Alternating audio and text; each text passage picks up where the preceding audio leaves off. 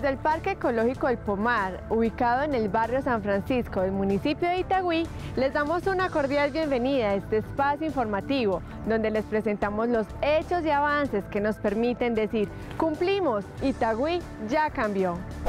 Hoy, en esta emisión de Itagüí ya cambió, veremos.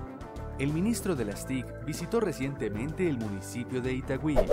Entrega de implementación deportiva a los integrantes de las escuelas de fútbol de la Fundación Real Madrid en el municipio.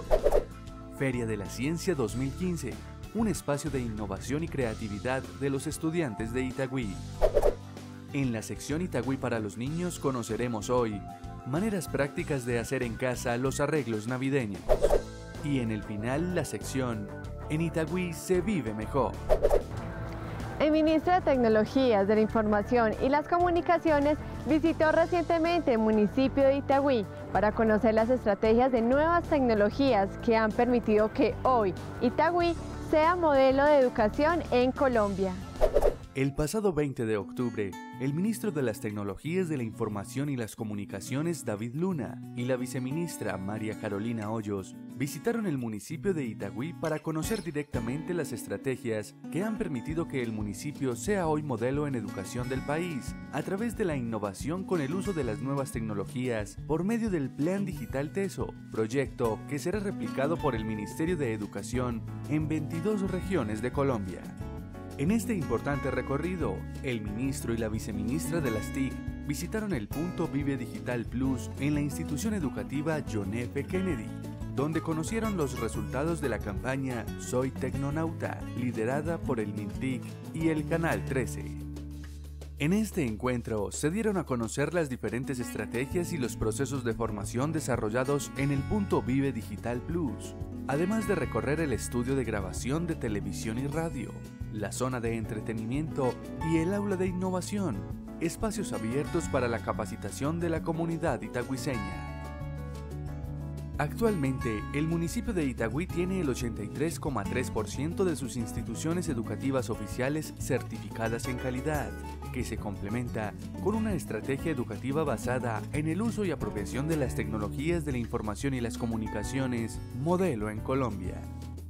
Cumplimos. Itagüí ya cambió.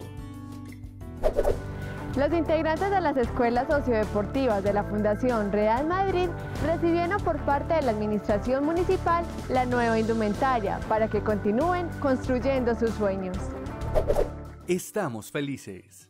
Era la frase que no paraban de repetir los niños de las escuelas sociodeportivas de la Fundación Real Madrid en Itagüí, en la nueva entrega de implementación deportiva en el marco del evento de premiación del Torneo Deportivo Cultural Atrévete a Soñar 2015.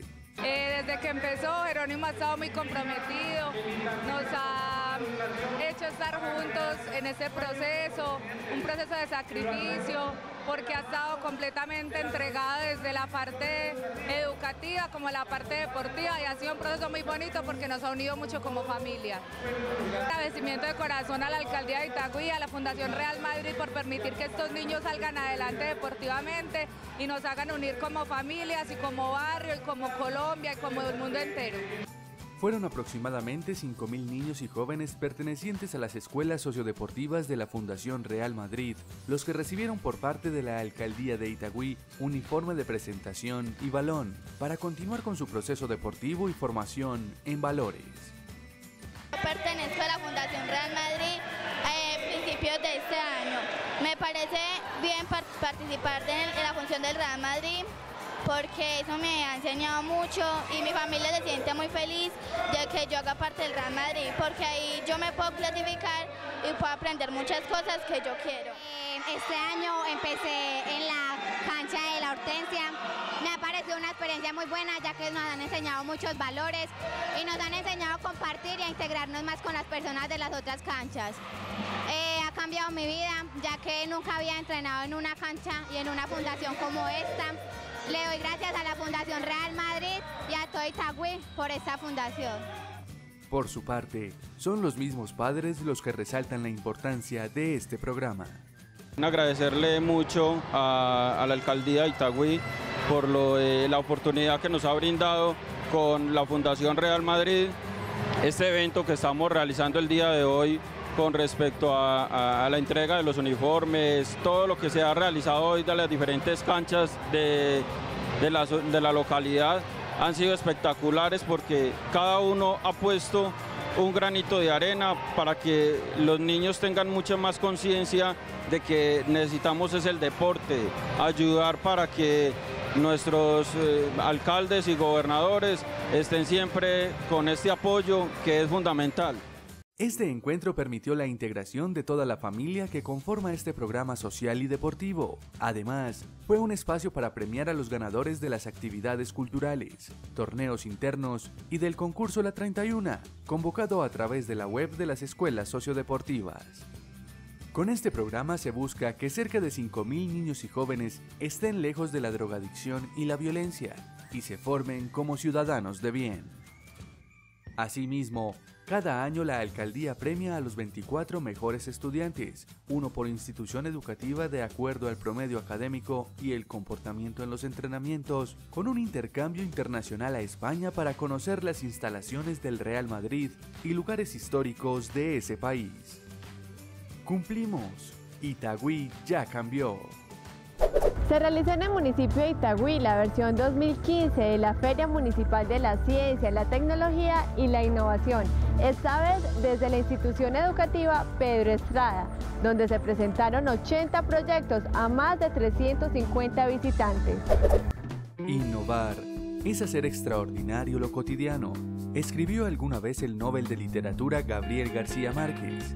Y eso es precisamente lo que realizaron los 80 grupos de estudiantes participantes en la última edición de la Feria Municipal de Ciencia, la Tecnología y la Innovación, que se realizó a mediados de octubre en la institución educativa Pedro Estrada, donde 21 planteles expusieron sus proyectos y más de 350 visitantes tuvieron la oportunidad de aprender, socializar y compartir propuestas alrededor del conocimiento. Este es el proyecto final, estos son los paneles solares que le dan energía al carro, este es el Arduino que permite la programación del carro para que gire, avance, retroceda, los motores, este es el módulo Bluetooth que permite conectarlo al celular para manejar el carro desde una aplicación. Está ensamblado en una protoboard, y la estructura está hecha con balso y cauchos. Nuestro proyecto es el purificador de agua por medio de filtros. Él es Emanuel Muñoz Lopera, Camilo Gallego y yo soy Daniel Suárez. Ah, nuestro proyecto consiste en purificar las agua, la agua que está sucia en forma física. Ah, se utiliza cinco materiales y son piedras, grava, arena, carbón activo y algodón. Los tres principales materiales granulares sirven para, sirven para que se le vaya yendo los, los microorganismos y todo.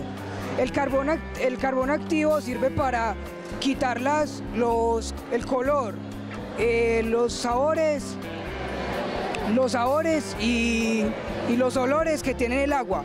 Y el algodón termina, termina todo, el, todo el proceso. Cuando terminemos con este proceso, lo que se hace luego es reutilizar el agua para llegar a hacerlo varias veces para que llegue un punto en el que el agua pueda ser potencialmente potable. Este certamen es el espacio donde los estudiantes dan a conocer las iniciativas de investigación en las diferentes áreas del conocimiento elaboradas durante el año. Con la Feria de la Ciencia se promueve la investigación escolar desde el grado preescolar hasta 11 y como estrategia busca fortalecer las capacidades investigativas de los jóvenes del municipio para el fortalecimiento de competencias ciudadanas y científicas para el desarrollo social. Cumplimos. Itagüí ya cambió. Una breve pausa y en un momento volvemos con más hechos y avances del municipio de Itagüí. Hoy, Itagüí es un municipio modelo en innovación y calidad educativa del país, gracias a la implementación y apropiación de las tecnologías de la información y las comunicaciones a través del Plan Digital TESO y a una inversión de más de 330 mil millones de pesos dirigidos a la educación, lo que ha permitido la construcción de 7 megacolegios, la remodelación de todas las instituciones educativas, así como la entrega de más de 20 mil computadores y cerca de 37 mil kits escolares cada año. Cumplimos. Itagüí ya cambió. Entérate de todo lo que sucede en el municipio de Itagüí ingresando a nuestro sitio web www.itagüí.go.co. También encuéntranos en las redes sociales Facebook, Twitter, Pinterest e Instagram. Además, visita nuestro canal YouTube y únete a los miles de itagüiseños que nos visitan. Cumplimos, Itagüí ya cambió. Gracias por continuar con nosotros. Los invitamos a seguir viendo más hechos y avances del municipio de Itagüí. Miles de niños y jóvenes de Itagüí están más felices. La razón es que tendrán mejores y modernas instalaciones para su estudio con la entrega de los megacolegios Felipe de Restrepo del barrio San Pío y Orestes Índice en su sede del Carmelo por parte de la ministra de Educación Gina Parodi y del alcalde de Itagüí Carlos Andrés Trujillo, en acto que se realizó la semana anterior. En el barrio San Pío de Itagüí, son 1.278 niños los que se beneficiarán con el nuevo megacolegio Felipe de Restrepo, sede principal, una construcción de cuatro pisos con un costo superior a los 8.300 millones de pesos que permitió llegar a 21 aulas perfectamente equipadas, además de otros elementos locativos para el buen funcionamiento de esta institución educativa, que gracias a esta ampliación establecerá gradualmente la jornada única, puesto que actualmente los niños estudian en doble jornada. Con gran regocijo toda nuestra comunidad, padres de familia, alumnos, docentes, directivos, recibimos hoy este megacolegio eh, con grandes expectativas y lógicamente con grandes retos, donde vamos a poder darle continuidad a un proceso de formación siempre en búsqueda de una calidad educativa. Eh, los padres de familia están muy felices, igual que los niños muestran una felicidad exorbitante por esta nueva obra. Estamos muy contentos pues, por haber sido escogidos para este mega, colegio. Los niños y la comunidad en general eh, ven esto como una gran oportunidad y agradecen mucho al Gobierno Nacional y eh, a la Secretaría de Educación por darnos la oportunidad de ser parte del cambio y de la calidad educativa. muy bueno porque van a poder venir más estudiantes y las matrículas van a ser más buenas y porque el colegio va a quedar muy grande, entonces van a haber más salones, muy bueno el escritorio, el salón va a estar más amplio, también va a haber mucho más espacio para el descanso, para comernos la lonchera. Toda esta inversión y esfuerzo conjunto es una muestra firme del trabajo mancomunado de la Alcaldía de Itagüí y el Ministerio de Educación. Y así lo destacaron tanto el alcalde de Itagüí, Carlos Andrés Trujillo, como la ministra Gina Parodi, en cada una de sus intervenciones durante los eventos de entrega de los megacolegios. Señora ministra, yo, yo podría decir tantas cosas, pero yo quiero ya en la parte final de mi gobierno resumirla en una palabra simple mi relación con el gobierno nacional y con el ministerio que hoy usted preside. Gracias. Estos son los colegios que queremos y necesitamos indudablemente, va alcalde, a usted también muchas gracias, a su señora un saludo muy especial, a toda la comunidad educativa, a los docentes, ¿dónde están los docentes, padre? Muchas gracias por recibirnos. Eh, veo las caritas de felicidad, me imagino que porque están estrenando, era un colegio que se estaba cayendo. Eh, en donde cada uno puso su parte. Este es un colegio que costó 8.500 millones. Este día trascendental para Itagüí continuó con la entrega del megacolegio Orestes Índice del barrio El Carmelo, plantel que cuenta ahora con 10 nuevas aulas de clase, además de otros elementos locativos para la comunidad de los estudiantes y docentes. Allí se invirtió por parte del Ministerio de Educación y la Alcaldía de Itagüí más de 5.500 millones de pesos, que beneficiarán a 1.241 estudiantes. Qué alegría, qué orgullo, con gran beneplácito recibimos esta magnífica obra que va a ser producto de la transformación de nuestro señor alcalde, el doctor Carlos Andrés Trujillo González, un hombre que le puso todo el empeño a la educación y que hoy nuestro municipio es reconocido como la ciudad educada del país. Es preciso destacar que Itagüí es ahora uno de los líderes a nivel nacional en materia educativa, ya que el Ministerio de Educación escogió uno de sus programas bandera, el Plan Digital TESO, como modelo de calidad en la educación a través de las nuevas tecnologías. y lo implementará en 500 colegios del país y así lo ratifica la ministra de la cartera educativa. Así es, nosotros vimos Itagüí, vimos el plan digital TESO que tenían, un gran compromiso del alcalde, eh, puso e hizo un convenio con la Universidad de AFID y lo quisimos llevar a nivel nacional. Iniciamos con 100 colegios y la meta es que el próximo año 500 colegios estén en un plan digital muy parecido al de TESO. Estamos muy contentos con este plan de infraestructura que comenzamos a ver los colegios 10 en todo el país, colegios que se van para la jornada única, en donde los niños van a poder pasar más tiempo en el colegio y menos tiempo en la calle. La educación es la mejor herramienta para generar paz y equidad en Colombia y por eso es importante que se priorice la inversión en educación. Yo le decía al alcalde electo, si quiere una ciudad segura, invierta en educación. Una ciudad productiva, invierta en educación. Todas estas acciones nos permiten contribuir desde Itagüí a la meta de convertir a Colombia en el país más educado de América Latina en 2025. Y estamos convencidos que seguiremos avanzando en esta gran apuesta por la calidad educativa. Cumplimos. Itagüí ya cambió. Una pausa final y en un momento volvemos con más hechos y avances del municipio de Itagüí. Hoy el municipio de Itagüí brilla por ser el modelo de seguridad en Colombia con una inversión a la fecha de 60 mil millones de pesos, en donde se destacan la creación de seis nuevos CAI, una subestación de policía, el aumento del pie de fuerza en un 300%, la reducción de homicidios en un 70% y por ser el municipio con más cámaras de vigilancia por habitante en el país. Cumplimos, Itagüí ya cambió.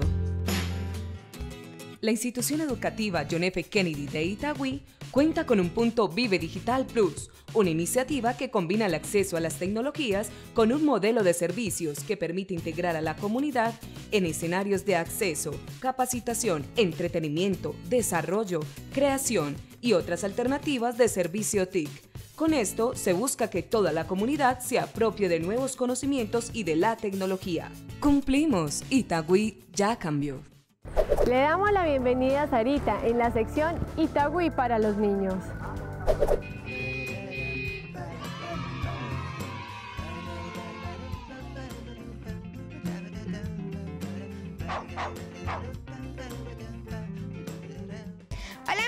Amiguitas, yo soy Sarita y esto es Itagüí para los niños. Nos encontramos en la Casa de la Cultura del municipio de Itagüí, donde conoceremos unos adornos navideños súper hermosos, fáciles y económicos de hacer. Y me encuentro con Liliana Spitia. Hola Liliana, bienvenida a Itagüí para los niños. Cuéntanos, ¿qué son todos estos adornos? Hola Sarita, estos son lamparitas navideñas hechas con material reciclado que encontramos en el hogar y las elaboramos en la Casa de la Cultura de Itagüí. Y si yo quiero hacerlo, ¿qué materiales debo utilizar? Son materiales fáciles de conseguir, eh, como estos que te voy a mostrar. Tenemos materitas de barro, pequeñitas, estas que son como peceritas o bombitas de cristal. Eh, requerimos de vinilos acrílicos en variados colores dependiendo pues el tono que queremos darle a nuestra Navidad. Pinceles de cerda suave, cintas para los moños, eh, lácana aerosol y silicona líquida. Vamos a iniciar. Debemos aplicar una primera base con vinilo acrílico. La materia de barro, al ser de barro, es un material demasiado poroso, entonces debemos aplicar unas dos bases para que nos quede bien blanca. La dejamos secar un poquito, eh, seguimos con este paso. Eh, vamos a hacer una forma circular que va a ser la cara de nuestro copo de nieve. Vamos a poncear, se llama esta técnica, para que no nos quede el color tan parejo, sino como medio difuminado. Hacemos una forma circular que va a ser la carita de nuestro muñeco. Y le aplicamos la base, que va a ser como la bufanda del muñeco.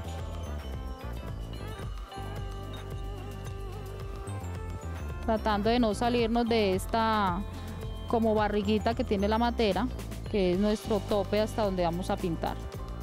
Para los ojos vamos a hacerlos, son la forma de una U y la parte central debe ser más alta que la parte de los lados. Entonces vamos a trabajarlo de esta manera. Eh, me queda como complicado. Vamos a hacerlo así. Es una U. Mira, una U. Y la parte de adentro es más alta que la parte de afuera. Mira. Ahora hacemos esta otra parte acá para el otro ojo. Y queda como complejo trabajarlo al revés.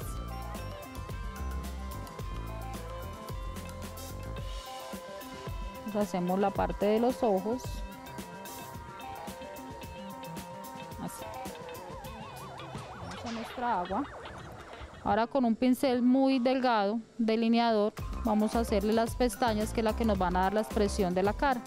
Entonces iniciamos desde la parte central hacia afuera con un movimiento circular para hacer las pestañas de nuestro muñeco. En la parte de abajo le hacemos una, una semicurva. Y aquí vamos a hacer la ceja pequeña. Y la otra como es un copo de nieve como si tuviera mucho frío. Hacemos esta forma así como en zigzag que es la que nos permite mira darle una expresión diferente. Colocamos tres punticos que es la luz de los ojos del muñeco porque si no nos va a quedar como zombie cierto aquí por el lado le hacemos una rayita de color, ya sea el color que deseen hacerle, eh, darle el tono a los ojos. Hacemos un triangulito y ya nos da nuestra nariz. La vamos a delinear con negro para darle profundidad y demarcarla. Bueno, nuestro paso a seguir es pegar la bombita de cristal encima de la macetica. Utilizamos silicona líquida porque la caliente es mm, complicada para los chicos, se pueden quemar, eh, además de que no es apropiada para el cristal. Vamos a trabajarlo, aplicamos en la base de, de nuestra bomba una buena cantidad para que quede firme y segura en esta forma y la ponemos sobre la materita. Este sería nuestro siguiente paso. Que ya es hacerle nuestro moñito, vamos a hacerlo en este tono dorado para que combine bonito con nuestro azul. Eh, vamos a utilizar más o menos un metro de cinta. Vamos a utilizar esta cantidad. Cortamos diagonal para que las puntas nos queden bonitas. Y vamos a hacer un lazo como si estuviéramos anudándonos los zapatos. Acomodamos que las orejitas del lazo nos queden igualitas. Acá la practicidad de la, de la cinta alambrada es que nos permite darle movimiento, que quede un moño armonioso, que quede bonito. Nuestro punto final, lo ves aquí, sería colocarle la lamparita. Puede ser una velita normal, una vela de cera o estas velas que se consiguen ahora en el mercado que son de pilitas. Amiguitos, esto ha sido todo para hoy, espero que les haya gustado. Esta es una muestra de todas las lámparas que nosotros podemos hacer con nuestra creatividad e imaginación. Yo soy Sarita y esto es Itaúí para los niños. ¡Chao!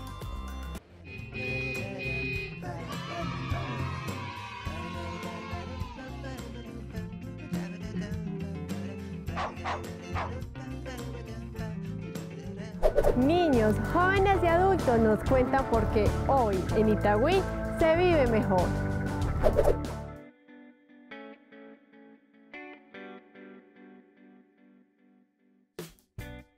Itagüí es muy distinto a lo que conocí hace cinco años, cuando vine a trabajar en mi actividad profesional.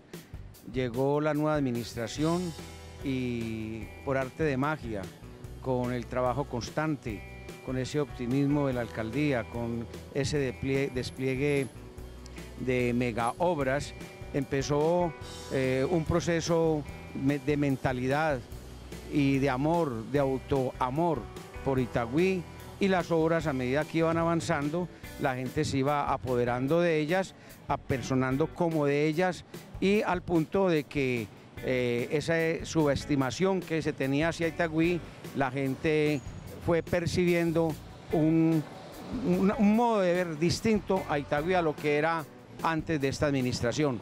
Podemos decir que aquí se vive mejor, con tranquilidad, todo es eh, de control absoluto en sus barrios, esta plaza maravillosa, este parque municipal, eh, ahora es tomado por los niños, cuando antes era tomado por alcohólicos y drogadictos. Que sí se vive mejor, en el sentido de que sí se respira un tema de paz y tranquilidad en cuanto a la seguridad, especialmente en los homicidios y las extorsiones han bajado sustancialmente. Obviamente falta todavía algo que mejorar, pero sustancialmente sí se ve más tranquilidad en los habitantes del municipio. Fuera de ello, se ve en los habitantes de este municipio un sentido de pertenencia de su municipio porque ya todos quisieran seguir viviendo aquí en Itagüí. Eh, se tiene un nuevo concepto de ciudad, las obras de infraestructura y, movilidad eh, se están viendo y eso ha reflejado una nueva imagen del municipio. Pues lo mejor es por, por los niños, por los colegios, por la ayuda que le dan los niños, que uno como padre de familia, uno con los niños hay mucha dificultad para los uniformes, para el kit escolar y uno ve todos sus mejoramientos y que los colegios los están volviendo más grandes, más buenos para los niños estudiar. Esto ha sido todo por hoy. Recuerden visitar nuestras redes sociales y el sitio web de la alcaldía www.itagüí.go.co. Los esperamos en la próxima emisión de nuestro programa institucional Itagüí ya cambió.